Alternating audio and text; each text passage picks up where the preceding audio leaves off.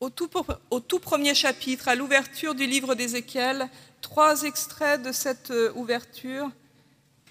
Dans le premier chapitre, dans le deuxième et dans le troisième, il y aura trois passages dans le même livre. Ézéchiel chapitre 1, versets 1 à 21. La trentième année, le cinquième jour du quatrième mois, comme j'étais parmi les exilés vers, près du Kébar, le ciel s'ouvrit et j'eus des visions divines. Le cinquième jour du mois, c'était la cinquième année de l'exil du roi Joachim. La parole du Seigneur parvint à Ézéchiel, fils de Bouzi, le prêtre, au pays des Chaldéens, près du Kébar. C'est là que la main du Seigneur fut sur lui. Je regardais. Il vint du nord un souffle de tempête, une grosse nuée et une gerbe de feu qui répandait une clarté tout autour. Il y avait comme un éclat étincelant sortant du milieu d'elle, du milieu du feu. Au milieu, quelque chose qui ressemblait à quatre êtres vivants dont l'aspect semblait humain. Chacun d'eux avait quatre faces et quatre ailes. Leurs jambes étaient droites et leurs pieds étaient comme les sabots d'un taurillon. Ils étincelaient de l'éclat du bronze poli ils avaient des mains humaines sous les ailes et à leurs quatre côtés, et tous les quatre avaient leurs faces et leurs ailes. Leurs ailes étaient jointes l'une à l'autre, ils ne tournaient pas quand ils se déplaçaient, chacun allait droit devant lui. Leurs faces ressemblaient à celles d'un homme, tous les quatre avaient une face de lion à droite, tous les quatre une face de taureau à gauche et tous les quatre une face d'aigle. Leurs faces et leurs ailes étaient séparés par le haut, chacun avait deux ailes jointes l'une à l'autre et deux qui lui couvraient le corps. Chacun allait droit devant lui, ils allaient où allait le souffle, ils ne tournaient pas quand ils se déplaçaient. L'aspect de ces êtres vivants ressemblait à des braises. C'était comme l'aspect des flambeaux, et ce feu circulait entre les êtres vivants. Le feu répandait une clarté, et du feu sortaient des éclairs. Les êtres vivants couraient et revenaient comme la foudre. Je regardais ces êtres vivants, il y avait une roue à terre, à côté des êtres vivants, devant leurs quatre faces. L'aspect de ces roues, leur structure avait l'éclat de la chrysolite, et toutes les quatre se ressemblaient. Leur aspect et leur structure étaient tels que chaque roue paraissait être au milieu l'une de, l'autre roue. Elles allaient sur chacun de leurs quatre côtés quand elles se déplaçaient, elles ne viraient pas quand elles se déplaçaient. Leurs jambes, leurs jantes, pardon, d'une dimension formidable, leurs jantes à toutes les quatre étaient remplies d'yeux tout autour. Quand les êtres vivants se déplaçaient, les roues allaient à côté d'eux. Quand les êtres vivants s'élevaient de terre, les roues s'élevaient aussi. Ils allaient où allait le souffle? Dans le sens du souffle, et les roues s'élevaient avec eux. Le souffle du vivant était dans les roues. Quand ils se déplaçaient, elles se déplaçaient. Quand ils s'arrêtaient, elles s'arrêtaient. Quand ils s'élevaient de terre, les roues s'élevaient avec eux, car le souffle du vivant était dans les roues.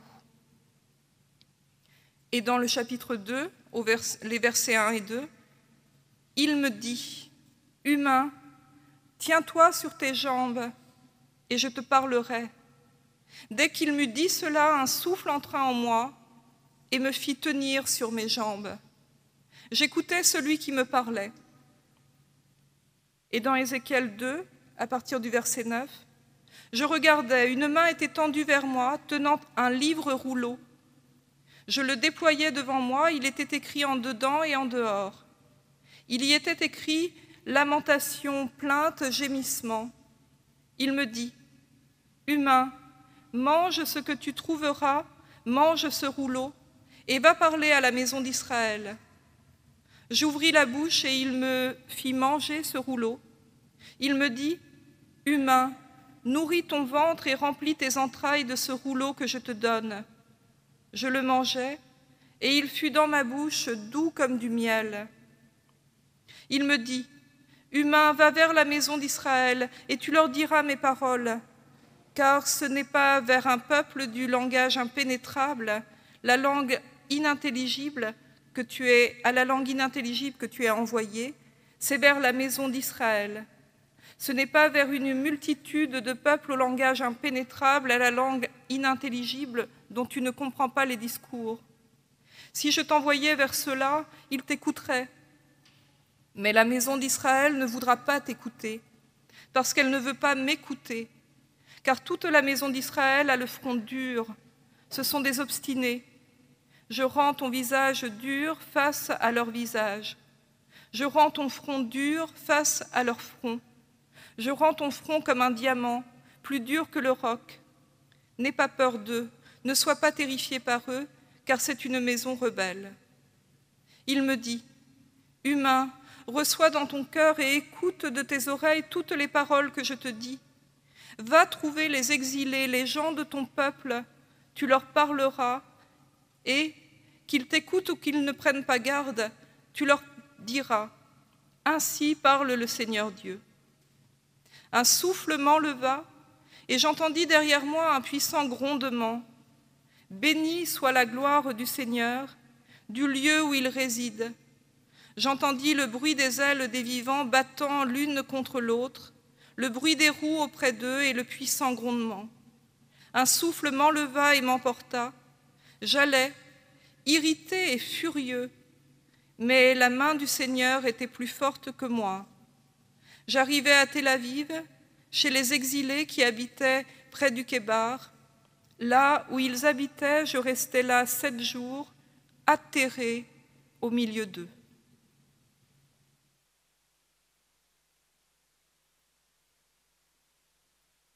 Et nous chantons ensemble le psaume 24, La terre au Seigneur appartient.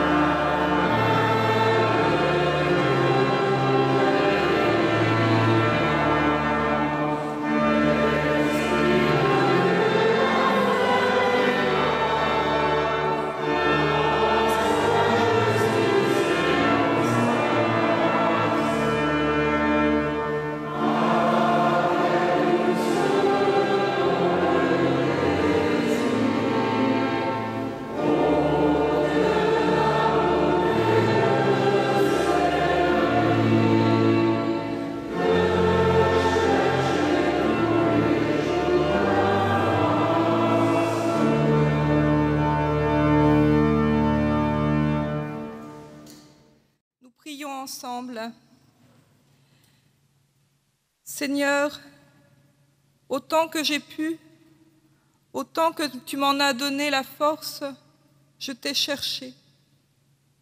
Et j'ai voulu avoir l'intelligence de ce que je crois. Et j'ai beaucoup discuté et j'ai beaucoup peiné. Seigneur mon Dieu, mon unique espérance, exauce-moi.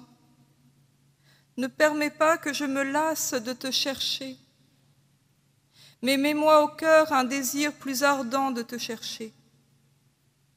Me voici devant toi avec ma force et ma faiblesse. Soutiens l'une et guéris l'autre. Devant toi est ma science et mon ignorance. Là où tu m'as fermé, ouvre à celui qui frappe. Que je me souvienne de toi, que je te comprenne, que je puisse t'aimer. Amen.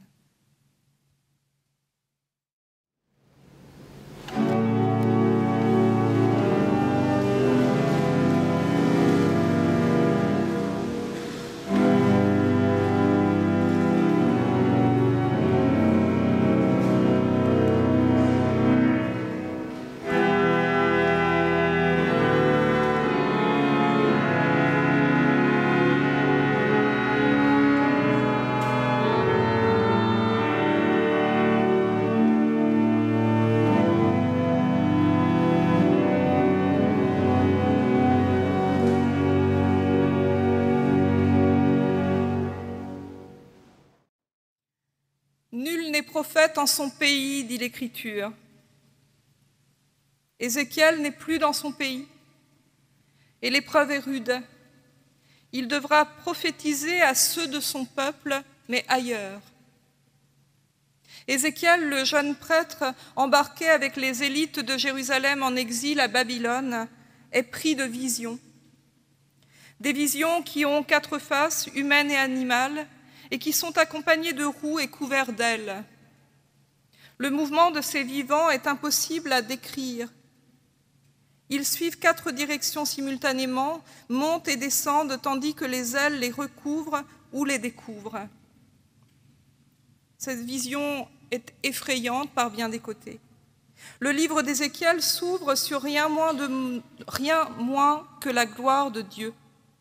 Une gloire couleur du lapis lazuli, d'un bleu qu'aucun ciel n'aura jamais, une gloire tempêteuse, mobile, immense, brûlante, et qui rassemble des symboles essentiels dans un système de pensée de l'époque d'Ézéchiel.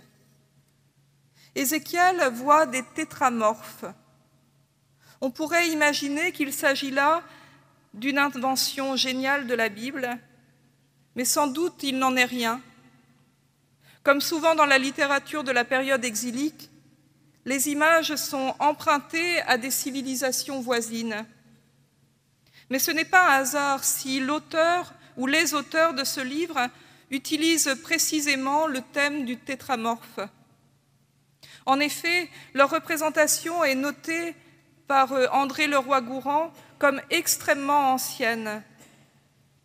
Le spécialiste de l'art pariétal nous dit qu'on le trouve déjà dans les grottes préhistoriques des agencements d'animaux pour figurer des êtres mythiques, des femmes bisons, des hommes chevaux. Le tétramorphe est une forme archétypale, un agencement d'éléments mythiques qui donne une multiplicité de significations, mais pas de façon linéaire. On ne peut pas rendre compte de ça comme s'il y avait une logique. On peut regarder les tétramorphes de divers points de vue la description qu'en fait Ézéchiel n'est pas linéaire. Cette description correspond étrangement davantage au système de représentation qu'utilisaient les œuvres les plus anciennes, les œuvres préhistoriques. La philosophe Muriel Van Vliet, dans sa conférence sur l'art préhistorique, explique le statut des représentations dans cet art très lointain de nous, selon André Leroy-Gourand. Elle rend compte de toutes ces études et elle dit L'art préhistorique articule des symboles abstraits et des figurations réalistes, transposition symbolique plutôt que calque de la réalité. Cet art cherche à reproduire spatialement des valeurs par agencement de figures. Cet agencement multiplie les dimensions par contraste avec une écriture linéaire. Ce sont des symboles visuels instantanément accessibles des schèmes multidimensionnels diffus. Les images y conservent une flexibilité. Les figurations pariétales sont à envisager sur le mode d'un itinéraire organisateur. L'ensemble forme un espace itinérant qui fonctionne comme un dispositif topologique. C'est cet espace qui est passionnant dans la vision des tétramorphes. Nous sommes aujourd'hui sans doute plus hermétiques à ce type de discours symbolique, mais il est bon de ne pas rejeter toute image quand on entreprend de lire la Bible, car alors nous serions obligés de faire l'impasse sur beaucoup de textes. Nombre de textes deviendraient impossibles à comprendre si l'on allait y chercher ces symboles. Une vision comme celle d'Ézéchiel n'aurait plus valeur d'argument d'autorité aujourd'hui, sans doute, à une époque où ce type de manifestation, des visions effrayantes, serait vu plutôt comme un trouble psychique que comme une révélation. Peu de pasteurs dans notre Église, au moins, invoquent l'autorité d'une vision pour étayer leur discours théologique. Pourtant, la vision ici vaut pour thèse centrale du discours du livre d'Ézéchiel. Impossible de faire l'économie de son analyse sans risquer de passer à côté du propos central de cette ouverture prophétique qui nous est proposée. Alors regardons avec Ézéchiel ces fameux tétramorphes. Une figure d'homme et de l'autre côté une figure d'aigle, symbolisant sans doute le ciel et la terre. Ils sont tous deux doués d'une vision de face et sont placés comme des vigies pour les vivants. En effet, l'aigle a deux systèmes de rétine, les anciens le savaient peut-être déjà, qui lui permettent de regarder sur les côtés comme nombre d'oiseaux, mais aussi, et c'est là sa particularité, de face comme un humain.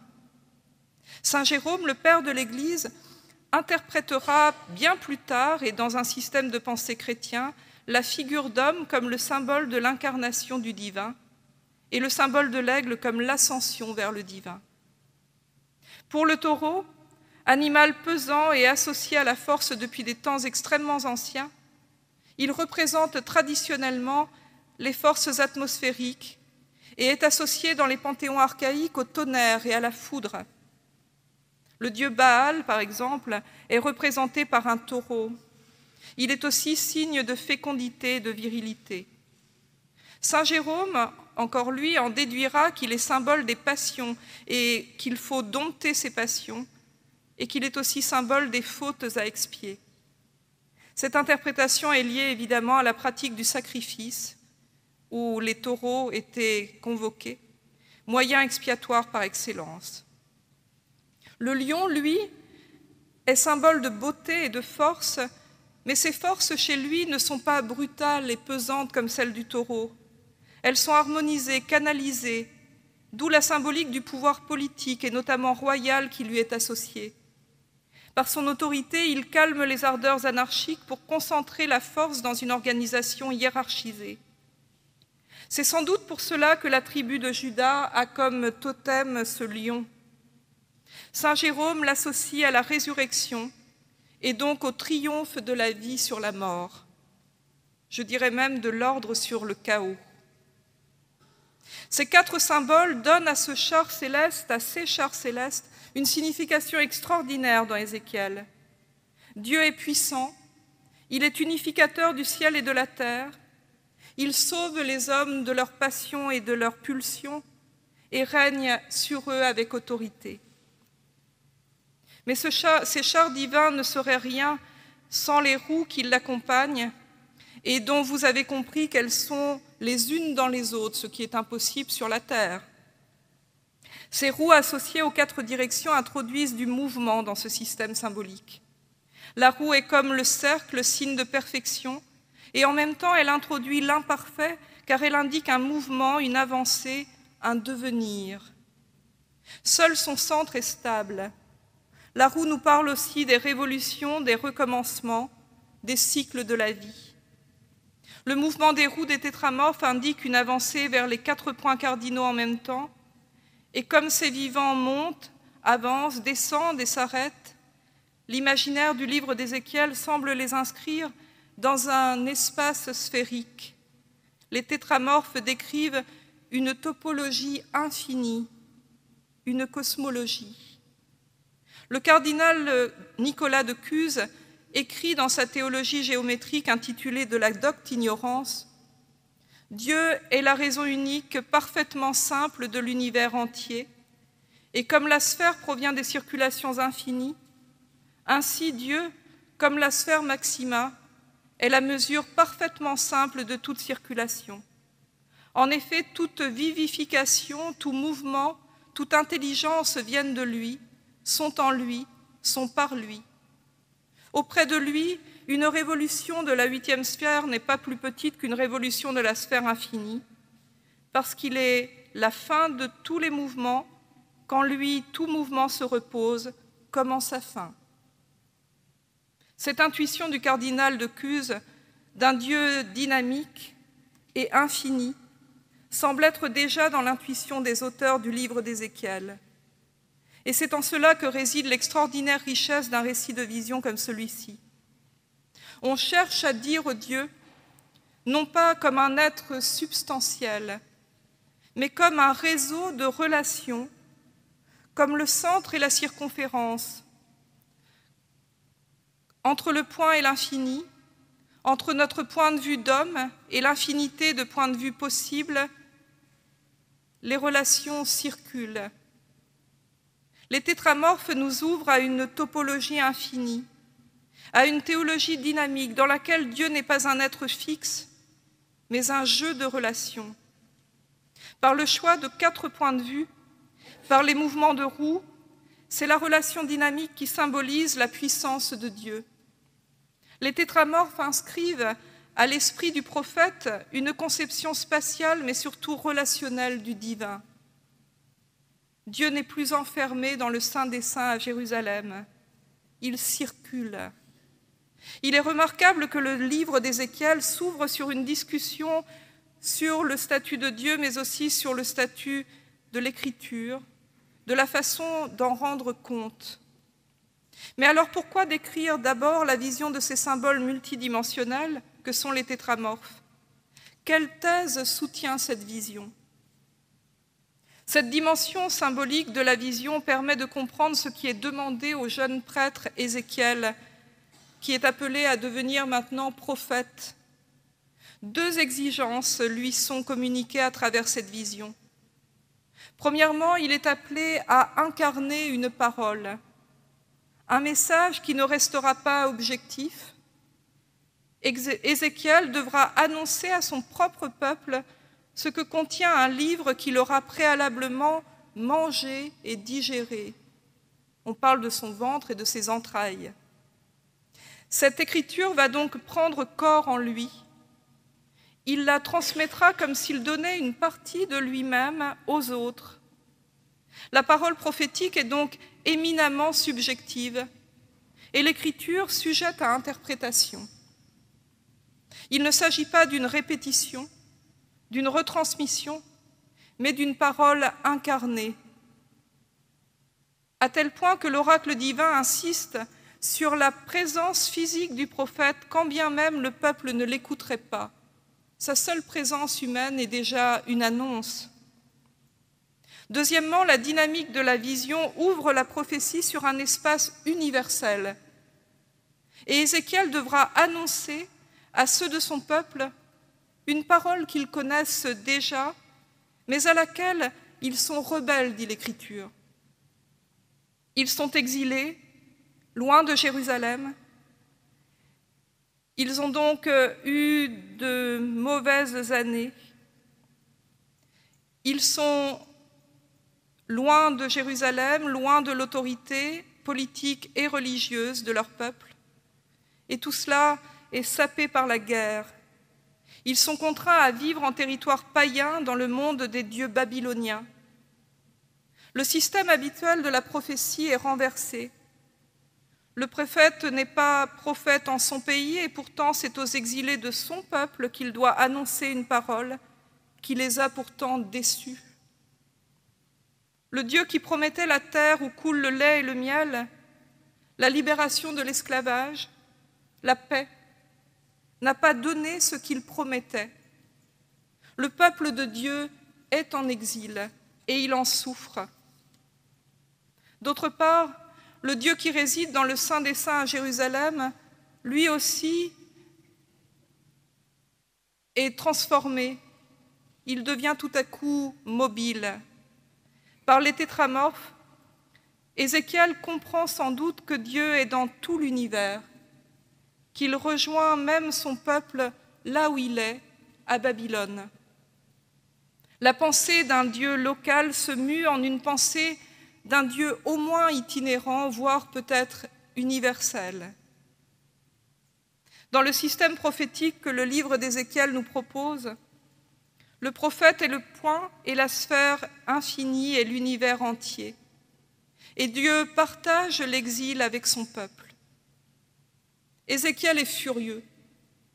Il aurait été si simple de rester dans l'impossibilité religieuse de l'exil, rester sans prêcher, rester sans rien dire à ces gens rebelles. Mais il est appelé à prophétiser dans le milieu le plus difficile qui soit, le milieu des déçus de Dieu. S'il était allé présenter les miracles et la puissance de son Dieu à d'autres, étrangers, ignorant de la religion du Dieu d'Abraham, d'Isaac et de Jacob, parlant peut-être une autre langue, il aurait pu enjoliver, trouver des excuses, expliquer que c'est par l'infidélité de son peuple que l'exil a eu lieu et que Dieu n'y est pour rien, car c'est un bon Dieu. Dieu lui-même ne se fait d'ailleurs aucune illusion sur la réceptivité de son peuple. Il dit tu diras mes paroles, qu'ils écoutent ou, qu'ils ne prennent pas garde. Ézéchiel doit aller à Tel Aviv, une ville qui n'a rien à voir avec la Tel Aviv d'aujourd'hui, puisque c'est en Chaldée, chez les siens, chez ceux qui se sentent loin de leur Dieu, parce qu'ils l'imaginent rester à Jérusalem, les, ayant laissés, exilés, loin de lui il doit annoncer lamentation, plainte, gémissement. Ou peut-être doit-il les avoir en lui, intégrés, assimilés, digérés, ces plaintes, ces gémissements, pour pouvoir annoncer la parole qu'on lui propose. Et il le fait sous la contrainte. La main de Dieu est sur lui. C'est donc à lui de donner à cette parole le goût de miel qu'elle a pour lui-même quand il la mange. Et pour que cette parole soit entendue par les déçus de Dieu, il devra être convaincant. Aujourd'hui encore, ils sont nombreux, les déçus de Dieu. On les appelle parfois dans certaines églises les distancés. Parfois, ils ont quitté leur église à cause du contre-témoignage de l'église. C'est avec Dieu lui-même qu'ils sont fâchés d'autrefois, car ils estiment qu'il ne les a pas soutenus dans leur misère, qu'il n'a pas entendu leurs lamentations, plaintes et gémissements. Où était-il ce Dieu qui est amour quand l'être aimé s'en est allé, par exemple? Où était-il ce Dieu de vie quand la mort a frappé la maison?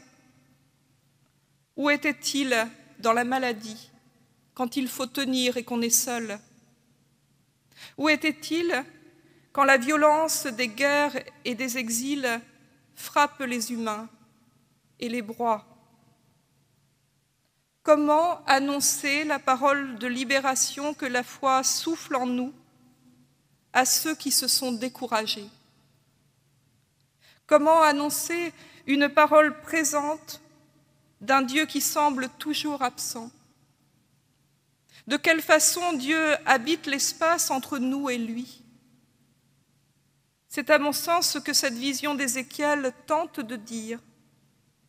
Dieu habite cet espace en tissant une relation symbolique. Et cette relation, c'est sa parole.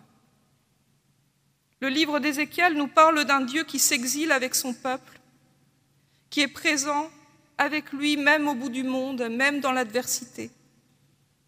Un Dieu opiniâtre qui sait la rébellion, qui anime son peuple et qui pourtant ne désespère pas de reconquérir son alliance. Quelle est notre présence auprès de ceux qui désespèrent qu'il y ait un Dieu qui les aime, qui les sauve, qui les soutienne? Peut-être faut-il l'envisager à la manière des tétramorphes comme un témoignage multidimensionnel qui n'est jamais dogmatique, qui parle à toutes les dimensions humaines, même les plus irrationnelles parfois, sans exclure ni en favoriser aucune. Peut-être faut-il se garder de toute objectivation de Dieu et de sa parole, et le penser de façon toujours dynamique, comme ce souffle dont parle l'Écriture, comme un mouvement de l'âme, plus que comme une entité mythologique installée quelque part au ciel, loin, trop loin des hommes. Peut-être enfin faut-il inlassablement annoncer la présence de Dieu, qu'ils entendent ou qu'ils ne prennent pas garde, comme dit le texte. Annoncer que Dieu n'abandonne aucun de nous et être là pour n'abandonner aucun de ceux qui le cherchent. Annoncer qu'il est toujours là, quoi qu'il puisse nous arriver, et que si le désespoir peut décourager tout homme, Dieu ne désespère jamais de l'homme. Croire que l'espace entre le transcendant et nous n'est pas vide. La présence même de prophètes de Dieu dans ce monde est un signe de fidélité de, Dieu envers l'humanité qui le cherche. Car Dieu les met debout pour qu'ils mangent sa parole et l'annoncent avec foi. Cette foi est le signe que l'espace entre Dieu et l'homme, qui paraît infini, est habité par la présence de sa parole. C'est donc une vision polymorphe du langage de la foi que nous montre Ézéchiel un langage d'adaptation à ceux qui cherchent Dieu, un langage qui parle au-delà de l'intellect et qui va rencontrer, qui renonce même à cet intellect par bien des côtés, comme le soulignait Soren Kierkegaard dans ses miettes philosophiques, pour atteindre une alliance symbolique le cœur de ceux qui ont été blessés dans leur foi, venir le rencontrer, l'atteindre, ceux qui se sentent blessés dans leur foi et qui se sentent exilés, loin de l'amour de Dieu. Amen.